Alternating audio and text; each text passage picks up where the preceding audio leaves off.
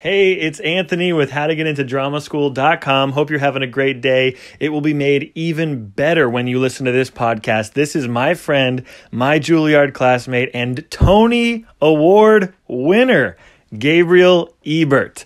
He shares his tips on how to get into drama school. And without further ado, let's get into it. How to get into dramaschool.com. Here's Gabe. I'll let you have the floor for like, you know, 30 seconds or a minute. Give us the personal background. Where were you before you auditioned for all these drama schools? How did you how what was your story leading up to all these auditions? Yeah. So I grew up in a small town in Colorado and um when I was a kid, I my father's a minister, so I grew up in church singing and then eventually my church would put on little plays and i would sort of perform in those plays from that i went and um, i was in a choir for several years so i grew up singing and dancing um, ever since i can remember and there's a great high school for performing arts uh, called the denver school of the arts that i was lucky enough to audition and get into so in a way i feel like i had a sort of running start to college auditions because I auditioned to get into high school as well. And mm. I studied drama um, in high school at Denver School of the Arts, and I also was able to minor in choir. And um, so I felt I was I had a nice springboard to leap into college auditions because we had been sort of uh, dwelling in that territory all of my years in high school. I really wanted to make it to New York City because I love the theater and I always wanted to end up in New York. So my ideal was actually NYU. For some reason, my way of life, I'd never heard of Juilliard until a friend of mine who was in a class above me said, you know, if you want to go to New York, you should really you should really apply to Juilliard. And that's when I started doing research. I uh, in my junior year, I got to fly to New York with my mother, and we toured some of the colleges. And my experience at Juilliard was so positive and once I really learned the difference between their curriculum and NYU's, and that theirs was a conservatory training, um, that's where my sights were steadfastly set from that point forward. Nice. Very cool. Very cool. I, have heard most of that, but it's always good to, to relive it. It's such an exciting time, right? Mm-hmm. Absolutely. Absolutely. Um, so let's talk about like the really leading up to it. I, I want to get into like what the audition room was like. But I, before we get into the actual audition room, how did you decide on like the pieces? Let's talk about your pieces. So, Absolutely. give us uh, what were the pieces and, and where did you find them? So I ended up with four monologues, two classical and two contemporary, which was the uh, at the time was what you did, and I also had my my um, you know 16 bars to sing or my 32 bars to sing, whichever people wanted. So this is something I think can be helpful to your listeners is I was very set on doing monologues, especially classical monologues that were really obscure, that these people wouldn't have seen or heard in a long time. And so I searched through the Shakespeare plays, and I remember at the time I had a monologue from The Jailer in Cymbeline, and then I had a monologue, mm. um, Son Who Kills His Father, which is from like Henry VI, Part Three.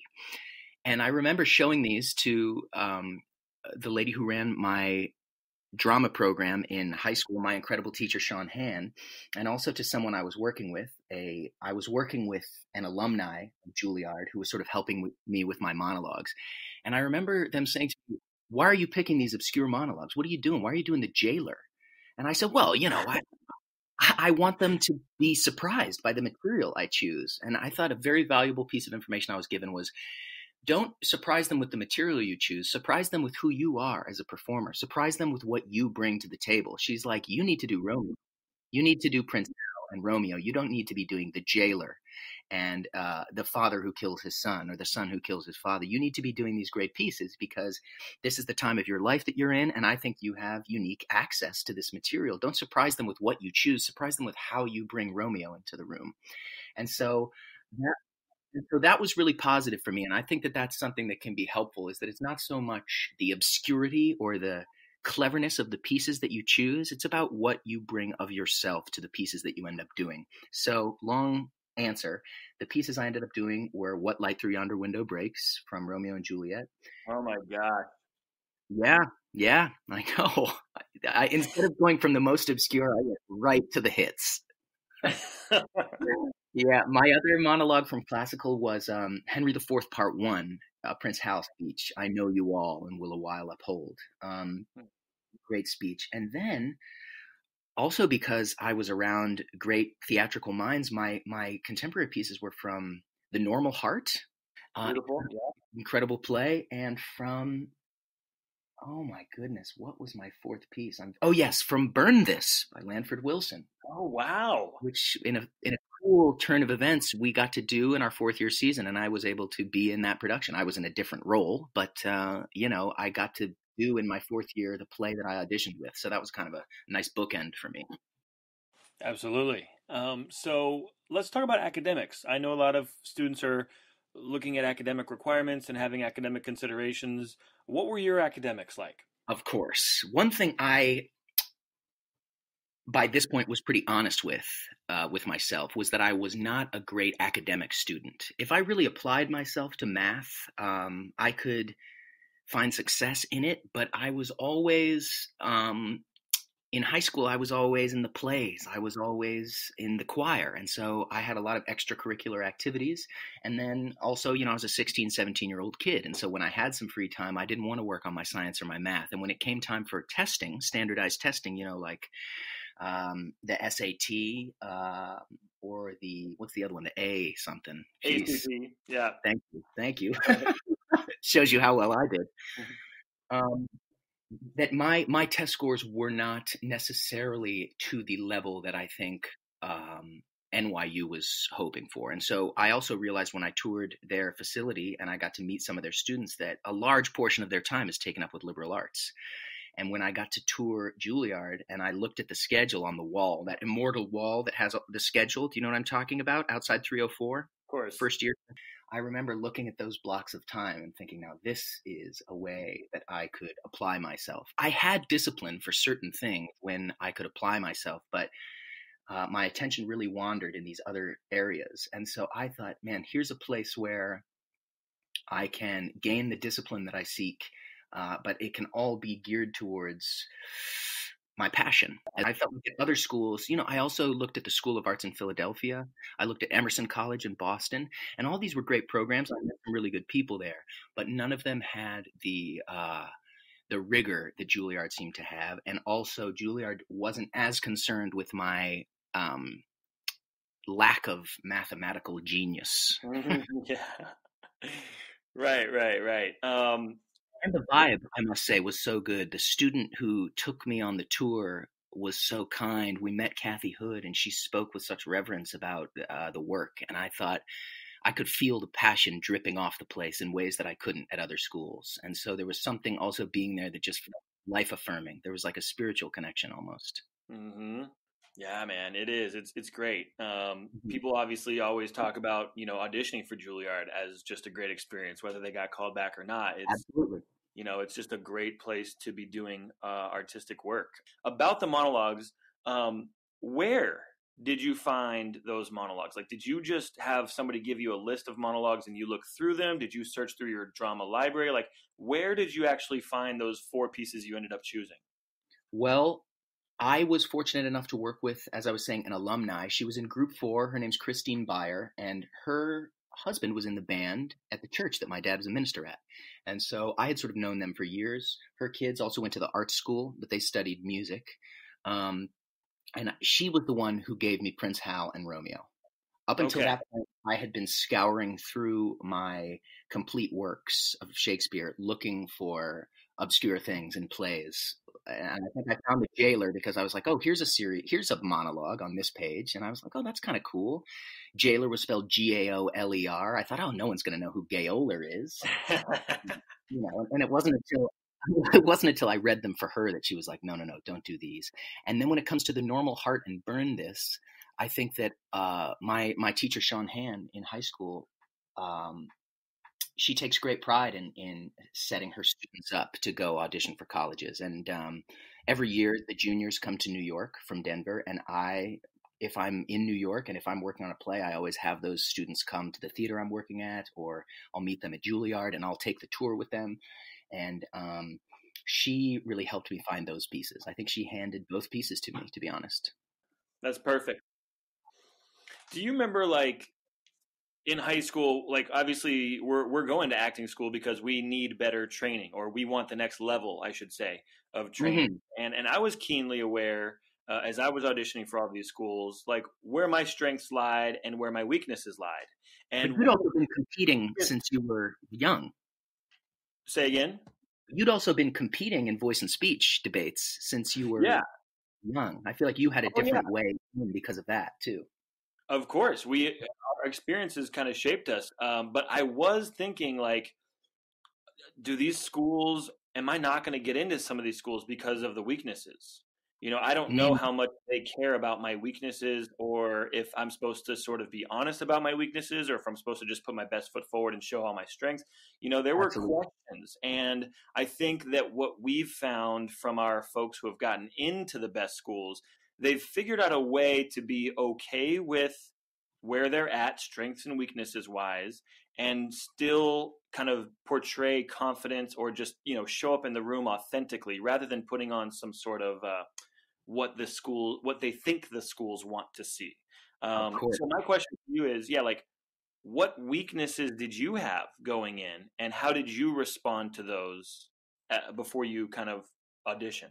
Yeah, that's a great question. Uh, one thing I would say before I answer this question is just I remember when I was working the auditions later, when I was in my third and fourth year, and um, the professor said something really brilliant to the group. He said, "I'm not here to find people who are already polished and ready to go. I'm here to find students who I can work with.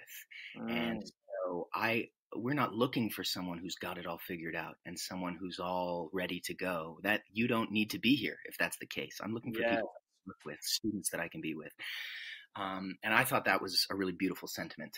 So absolutely the things that I felt the things that I felt I needed to work on when I came in, I was kind of the class clown, I think. And I think for the first year, I sort of operated in our class in that way too, as like the goofy one, the happy go lucky one, the guy who you're never really going to have an argument with because he'll go along with whatever. And I think what I brought to my pieces was um, a sort of quickness and a lightness and i think that i can i could at the time get a laugh out of things and what I was asked to then work on for the next several years was um, to not look for a way to get a laugh, but to look for the depth. And I think they didn't get, let me play a clown again until end of third year, and, uh, and, all before that, I was playing killers and kings and you know rapists. I had to go through some really dark times in in year two and three because um, they trusted that I had the clown thing, but they made me put it aside. And I think that that you know, at the time it was scary, but um, it rounded out who I am as an artist. And and um, now, you know, I should probably get more laughs when I'm trying to make people cry. yeah, you were just in last year, uh, Mr. Mercedes, right? And you were playing this like very dramatic character. Very true. Very true. um, I tried laughs in there. What can I say? Yeah, I'm sure you did. I'm sure you you you know played it great. We want to hear about the actual audition now. Mm-hmm. Yeah, and we're not just talking about Juilliard, like you know, we're talking about college auditions in general. Okay. Yeah. That one is the one that sticks out in my mind, but. I did also audition in Boston, and I did also um, audition at NYU. These experiences were more sort of sit in a waiting room with a few other hopefuls. Keep your eyes on the floor. You go in, you have your five minutes. That was my experience in those schools, and I no one was cold to me, but I didn't feel a particular warmth. Um, I auditioned in New York for Juilliard, and I was really struck that there's 150 kids here for this session, and they start the day by coming in and having us all stretch together. And, stretch, and and Richard Feldman, the great Richard Feldman, gave us a little speech and kind of put us at ease. And I remember talking to my fellow auditioners and being like, wow, where are you from? Oh, my goodness, uh, how great. What other schools are you auditioning for? There was a camaraderie already built in. Um, I made it through the morning session. I remember this was kind of a harrowing moment, but the first, you know, the 150 kids auditioned. I was maybe in the 60s or 70s, and then you wait they post a list of who gets to come back later that evening, and it was maybe seven names. You know, like, oh my goodness, I was very lucky to be one of those seven names. Mm-hmm. So my mom and I had a cup of coffee, came back, did the night session. But wait, before we get to the callback, let's talk about the actual initial audition. Like you, your Thank name you. gets called. What happened? Okay, so my name gets called. as I said, I was standing in the hallway with someone, with a student who was currently at Juilliard at the time. Um, I think it was Jamario Stills, if I recall. Oh. And he was incredibly kind to me and supportive of me and said, you, you got this. Go do it. Go do your thing, you know? And I remember thinking, oh, I do got this. I, eh, yes.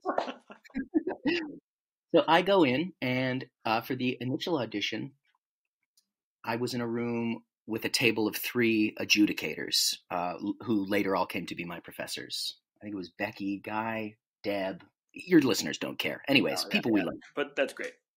Thank you. Um, they had me do all four of my monologues, which was Whoa. interesting. No other school had asked me that. I had only done two at every other school. And so I thought, ooh, either they don't like my first two pieces or maybe they're interested. They want to see more. You know, I tried not to get too dark. I think at the time I was so excited that I didn't let my mind go too dark. Uh, I didn't, I, doubt didn't infiltrate too deeply. Um, so I did all four monologues and they had me sing. And I had chosen, you know, 16 bars of a pop song and I sang that there. Um, they didn't give me much, they didn't give me much feedback in the room. Uh, they were very kind and they thanked me very much.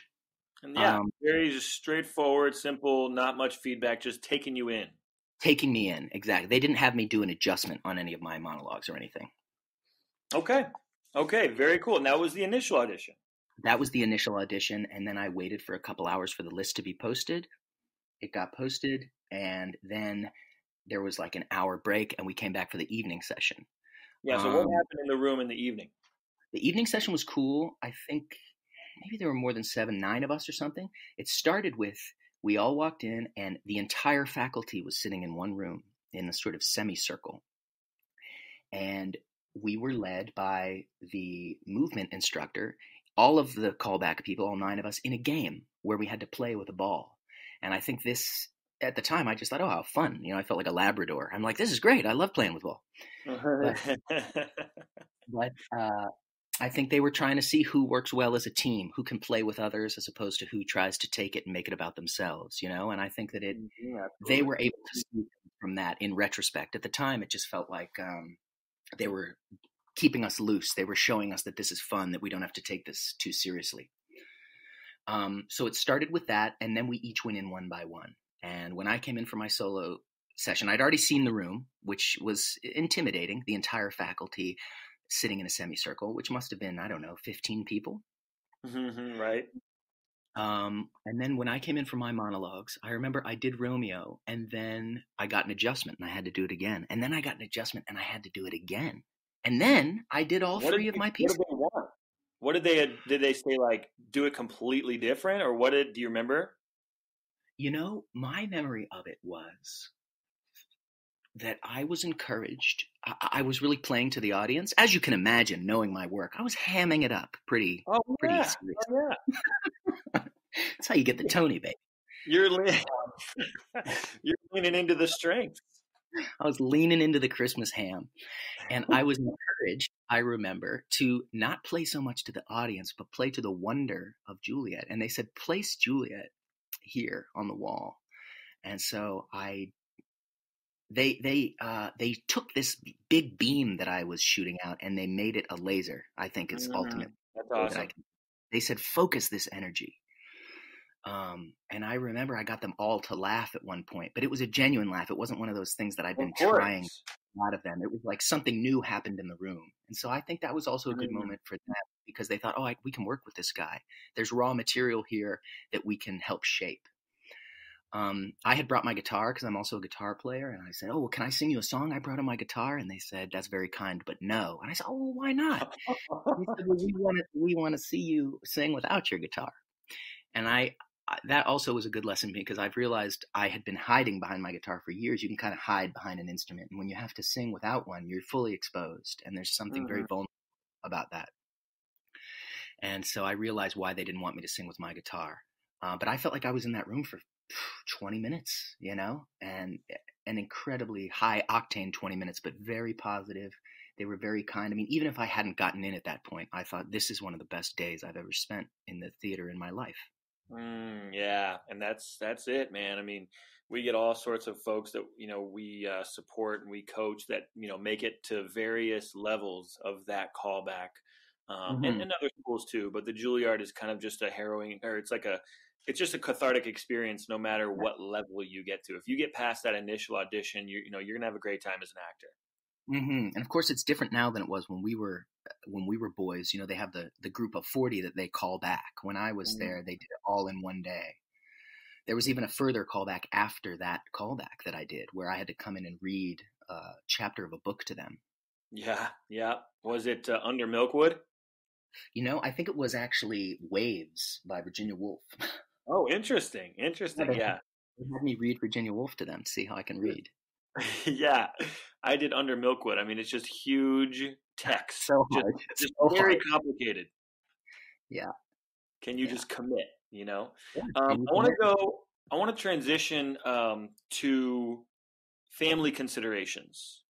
Mm-hmm. A lot of students uh, may be very talented or, or or or be totally qualified.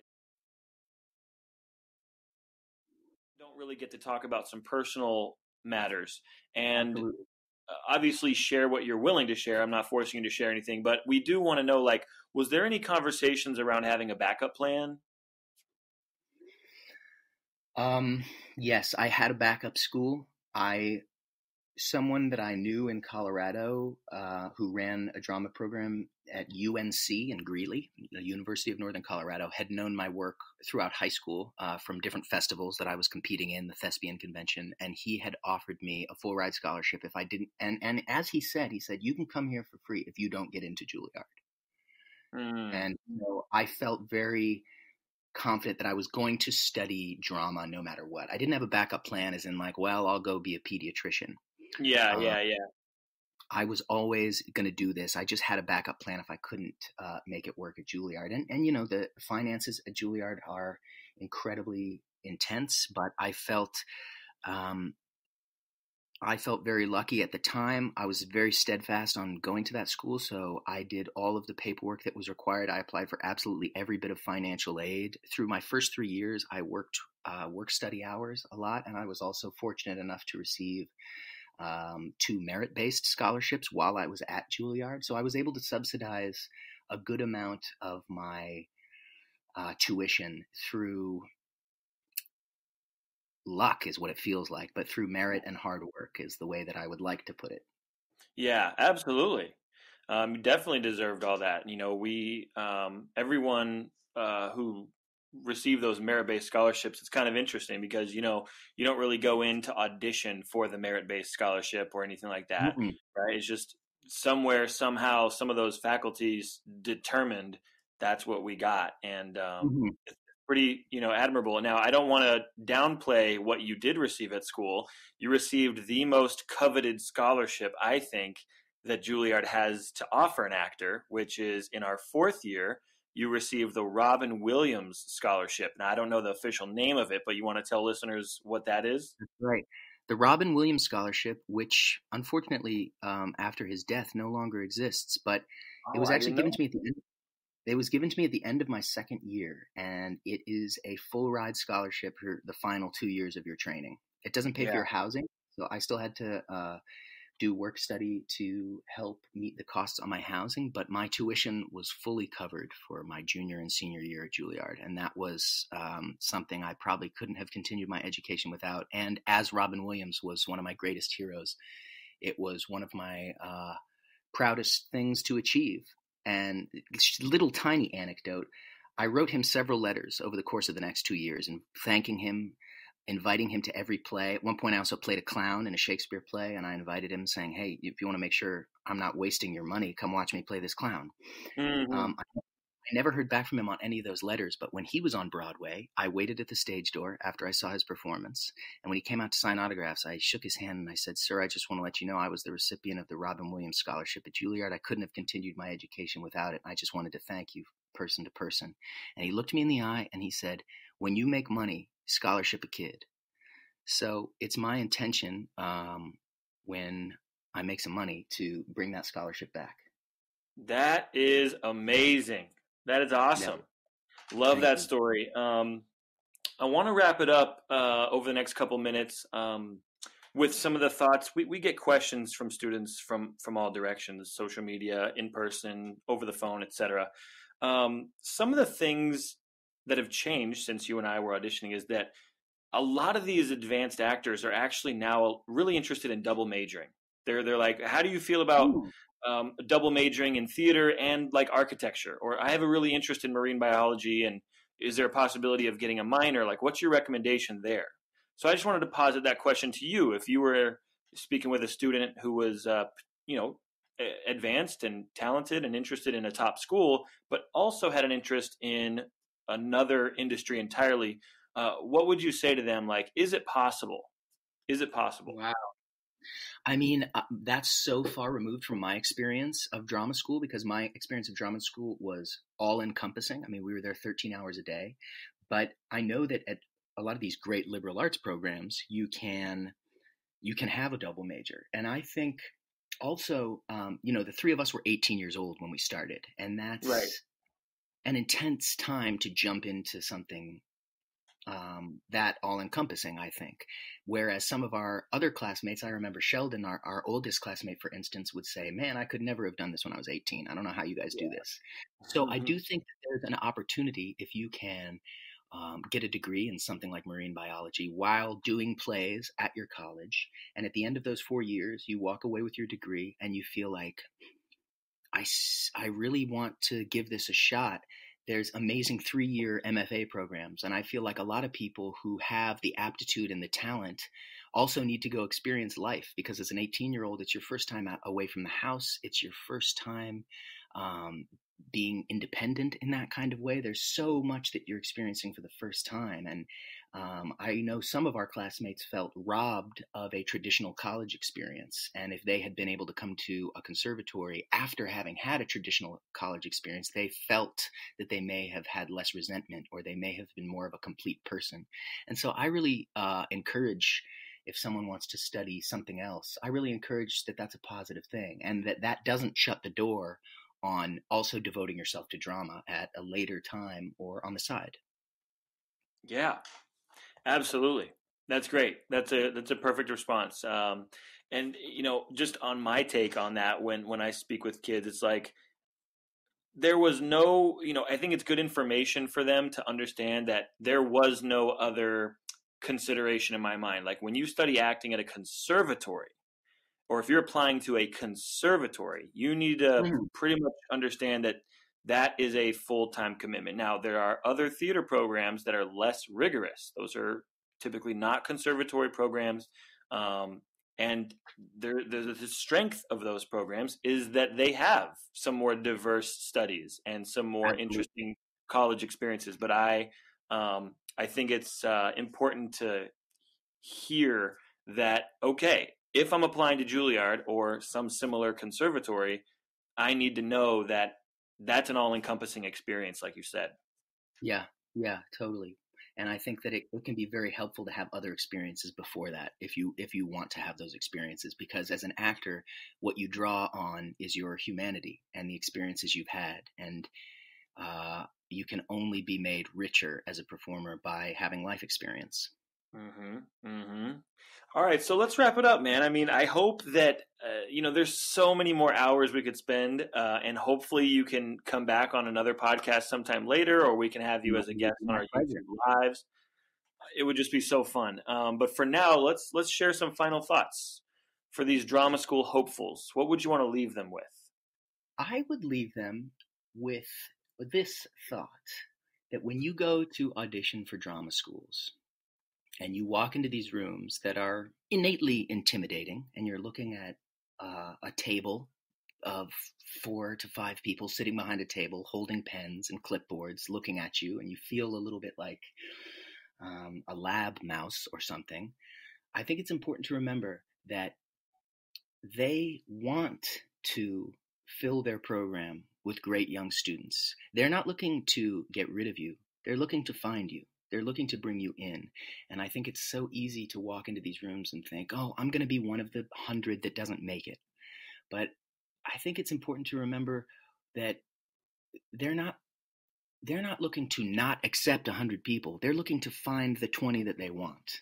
And you may be among them and you may not, but it's it isn't a uh, it isn't an account of who you are as a person. It's an account of what they're looking for in their training program. And so I think that that can take away some of the feelings of being personally affronted by this. And I think that also it can be um, more life affirming to walk into these rooms and know they're they're looking to say yes. They're not looking to say no. Yeah. And I think it's important to remember that. That's amazing. Hey, everybody, thanks for listening. And with that, we'll sign off. Thank you so much, Gabe. Have an awesome day. My pleasure. Best of luck, everyone.